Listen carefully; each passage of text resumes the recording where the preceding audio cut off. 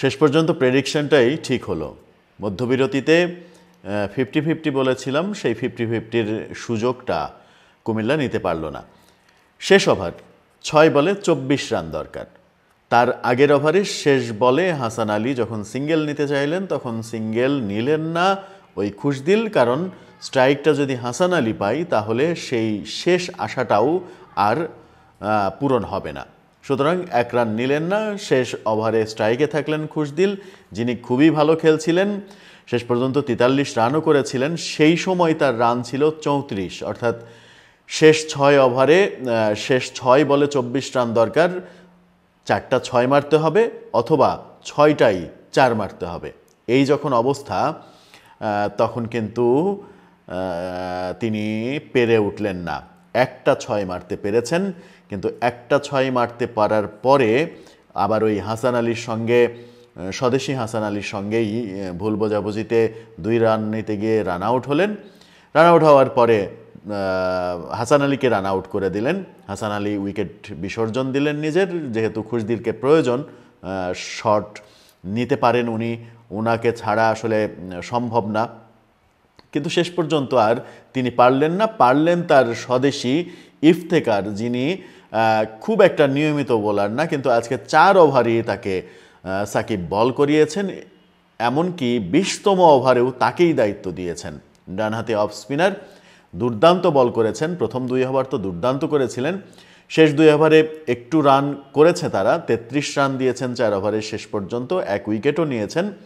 কিন্তু কাজের কাজটা ঠিকই করেছেন। তিনি প্রতিপক্ষকে আটকে রেখেছেন এবং তার বোলিংয়েই শেষ ওভারে চব্বিশ রান যখন খুশদিল প্রচণ্ড ভালো খেলছেন চৌত্রিশ রান করে আছেন তেইশ বল থেকে, সেই সময় সেই ব্যাটসম্যানের পক্ষে চারটা ছয় মারা খুব একটা আশ্চর্য হওয়ার কিছু না, কিন্তু সেটা ইফতেখার করতে দেননি।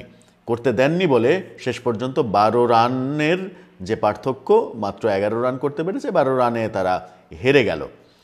এই কুমিল্লা, যেটা আমি মধ্যবিরতিতে বলছিলাম যে ওয়ালটন আজকে খেলছেন না, কিন্তু সেটা ভুল বলেছিলাম। ওয়ালটনও আজকে খেলেছেন রিজওয়ান খেলেছেন, ওয়ালটন খেলেছেন, হাসান আলী খেলেছেন, খুশদিল খেলেছেন। তিনজন পাকিস্তানি এবং একজন ওয়েস্ট ইন্ডিয়ান। ওয়ালটন খুবই ভালো ব্যাটসম্যান, কিন্তু সে শেষ পর্যন্ত পারেননি। রিজওয়ানও খুব একটা ভালো করতে পারেননি। রিজওয়ান ভালো করতে পারেননি বলেই লিটন সাথে রান আউট হয়ে গেছেন। লিটন রান আউট হওয়াতে বত্রিশ রানে ছাব্বিশ বল থেকে বত্রিশ রান যখন করেছেন, লিটন যখন দুর্ভাগ্যজনকভাবে রান আউট হয়েছেন, তার আগে যখন রিজওয়ান আউট হয়ে গেছেন, তখনই মূলত খেলাটা শেষ হয়ে গিয়েছিল। কিন্তু খেলাটা ধরতে পারতেন অধিনায়ক ইমরুল কায়েস, যিনি কিনা যখন নামলেন, তখন ম্যাচটা কিন্তু খুব কঠিন ছিল না। আস্কিং রেট নয় প্লাসই ছিল। কিন্তু সেই সময় তার ব্যাটিং স্টাইলে মনে হলো যে তিনি হয়তো পনেরো, ষোলো এরকম আস্কিং রেট তাড়া করছেন। একের পর এক ছক্কা মারতে যাচ্ছেন। এবং অপ্রয়োজনীয় বিগ শট খেলতে গিয়ে, আকাশে উড়িয়ে বারবার শট খেলতে গিয়ে তিনি আউট হয়ে গেলেন। আঠাশ রান করেছেন, আঠাশ রানে সেট হওয়ার পরে পনেরো বলে আঠাশ রান করেছেন। তখন তিনি যদি অধিনায়ক হিসেবে এক প্রান্ত ধরে খেলতেন, তাহলে কিন্তু এই ম্যাচটা সহজেই জিতে যেতে পারত কুমিল্লা।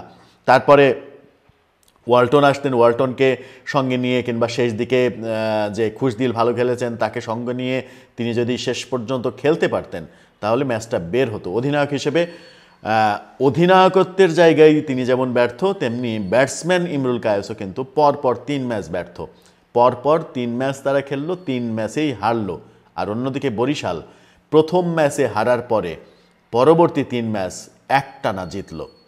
এই যে বরিশালের কামব্যাক করা এবং তারকা সমৃদ্ধ হয়েও কুমিল্লার হেরে যাওয়া, এটা একটা বড় বার্তা দেয়। অর্থাৎ কুমিল্লা দল আজকে তারকায় ঠাসা পাকিস্তানের সবচেয়ে ভালো ব্যাটসম্যান মোহাম্মদ রিজওয়ান, যিনি পাকিস্তানের এই সময়ের সেরা ব্যাটসম্যান, ওপেনিং ব্যাটসম্যান, তিনি এসে পারেননি। ওয়ালটন, যিনি বিপিএলে এর আগে খেলেছেন, একাধিক মৌসুম খেলেছেন, অসাধারণ খেলেছেন, তিনি এসেছেন, খুশদিল খেলছেন, বোলিংয়ে হাসান আলীকে যোগ করা হয়েছে।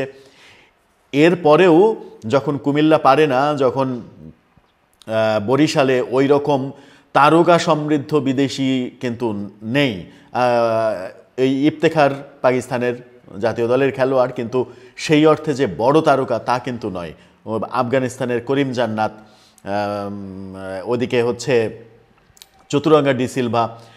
অপেক্ষাকৃত কম গুরুত্ব সম্পন্ন তারকাদের নিয়ে বরিশাল দল গঠিত হয়েছে। সেই দলে অবশ্য বাংলাদেশের তারকারা আছেন, সাকিব আল হাসান আছেন, মিরাজ আছেন, মাহমুদুল্লাহ রিয়াদ আছেন এনামুল হক বিজয় আছেন।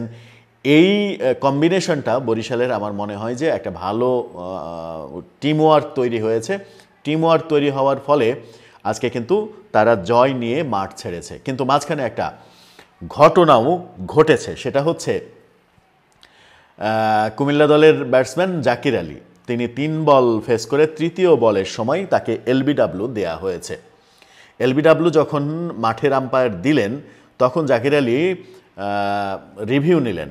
রিভিউ নিলেন, বল করছিলেন তখন ইফতেখার। ইফতেখারের অফ স্পিনে তিনি পরাস্ত হন, কিন্তু রিভিউতে স্পষ্ট দেখা গেল যে বল লেগ স্টিকের বাইরে পিস করেছে। বল যদি আউটসাইড অফ লেগ হয়, তাহলে আর পরবর্তী ধাপ দেখার কোনো প্রয়োজন হয় না। বল কোথায় গেল, বল ব্যাটে লাগল না, প্যাডে লাগল, কোনো কিছুই দেখার প্রয়োজন হয় না। শুধুমাত্র আউটসাইড লেগ পিস করার কারণেই এলবিডাব্লিউ, সে আম্পায়ার আউট দিন বা না দিন এলবিডাব্লিউ ক্যান্সেল হবে, এলবিডাব্লিউ হবে না। কিন্তু আশ্চর্যজনকভাবে হলেও থার্ড আম্পায়ার সেটিকে এলবিডাব্লিউ বহাল রাখলেন। এলবিডাব্লিউ আম্পায়ারের, মাঠের আম্পায়ারের যে সিদ্ধান্ত, সেই সিদ্ধান্ত বহাল রাখলেন। মাঠের সবাই আশ্চর্য হলেন, ব্যাটসম্যান জাকির আলী আশ্চর্য হলেন। এই কাজটা আবারও যদি রিভার্স হতো, যদি বরিশাল দলের বিপক্ষে হতো, তাহলে কি হতো সেটা বলা মুশকিল। আবার যদি ব্যাটসম্যান সেই জায়গায় সাকিব আল হাসান থাকতেন, তাহলে কি হতো? বলার মানে বলাটা খুব কঠিন। জাকির আলী, নতুন নতুন ব্যাটসম্যান তিনি হয়তো খুব একটা প্রভাব বিস্তার করতে পারেননি বা করতে চাননি মাঠে। কিন্তু যদি প্রভাব বিস্তার করা ব্যাটসম্যান হতেন, তাহলে কিন্তু আজকেও মাঠে একটা অন্যরকম ঘটনা ঘটতে পারত, যেটা ঘটেনি অল্পের জন্য। এই যে বাজে আম্পায়ারিং জাকির আলীকে যদি আউটটা না দেওয়া হতো, তাহলে রেজাল্টটা অন্যরকমও হতে পারতো। কুমিল্লার পক্ষেও রেজাল্ট যেতে পারতো, যেটা বরিশালের পক্ষে এসেছে। এই যে বাজে আম্পায়ারিং পুরো বিপিএল জুড়ে, মাঠের আম্পায়ার ভুল করছেন। থার্ড আম্পায়ার ডিআরএস নাই, ঠিক আছে। কিন্তু এই সিদ্ধান্ত নেওয়ার জন্য ডিআরএস থাকার প্রয়োজন নেই। আউটসাইড লেগ পিস করলে সেটি এলবি হবে না, এটা স্বীকৃত নিয়ম। এই নিয়মের বাইরে গিয়ে থার্ড আম্পায়ার মাঠের আম্পায়ারের সিদ্ধান্ত বহাল রাখলেন। এটা আসলে কোন আম্পায়ারিং বাংলাদেশের বিপিএলের জন্য নতুন নিয়ম তৈরি হয়েছে কিনা, এটি আসলে বোধগম্য নয়। এই যদি আম্পায়ারিংয়ের অবস্থা হয়, তাহলে বিপিএল আসলেই মাঠে মারা যাবে। যেখানে বিপিএল থেকে বড় বড় তারকারা অলরেডি চলে যাচ্ছেন ওই দুবাইতে। আইএল টি টোয়েন্টি খেলতে DP world IL T twenty গতকালই সেটার জমকালো উদ্বোধন হয়েছে। শাহরুখ খান ছিলেন সেই উদ্বোধনী অনুষ্ঠানে। ছয়টা ফ্রাঞ্চাইজি নিয়ে সেটি হচ্ছে।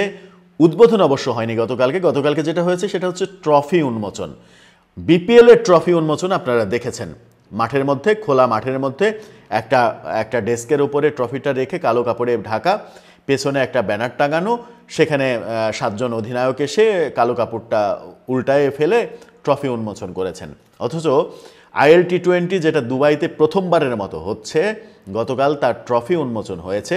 সেই ট্রফি উন্মোচন পর্ব দেখে মনে হয়েছে যে কাতার বিশ্বকাপের সমাপনী অনুষ্ঠানটা হচ্ছে।